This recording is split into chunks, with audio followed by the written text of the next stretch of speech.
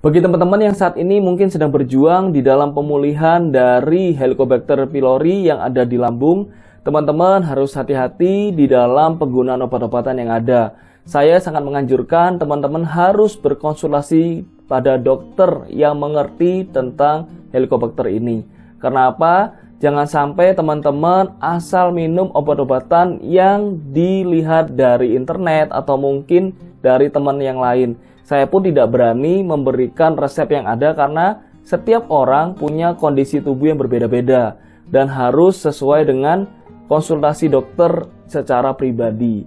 Nah, teman-teman, kenapa? Karena Helicobacter ini adalah bakteri yang ada di lambung yang menyerang di dinding lambung kita.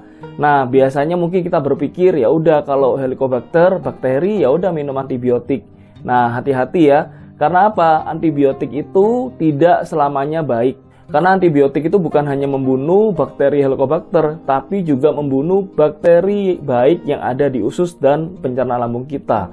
Dan bukannya hanya bakteri ya, ada juga mikrobiom yang ada di usus dan lambung kita yang baik itu malah ikutan mati.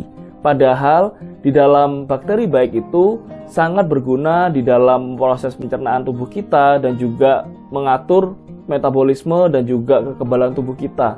Bayangkan kalau misalnya bakteri dan mikrobiom yang ada di dalam tubuh kita itu ikut mati, apa yang terjadi? Nah, tubuh kita kemungkinan ya bisa mengalami kekacauan ya. Salah satunya di dalam pencernaan kita. Jadi teman-teman harus konsultasi ke dokter supaya dapat memperoleh obat yang tepat. Dan memang pengobatan dari Helicobacter ini tidak cepat ya, karena memang bisa agak lama. Harus secara bertahap dan juga menjaga bagaimana kondisi lambung, kondisi mikrobiom yang ada di usus dan pencernaan kita. Nah, semoga teman-teman cepat sembuh, teman-teman juga sabar, jangan rasa pengen cepat instan, tapi malah nanti merugikan tubuh kita sendiri. Sampai ketemu di dalam video selanjutnya. Bye.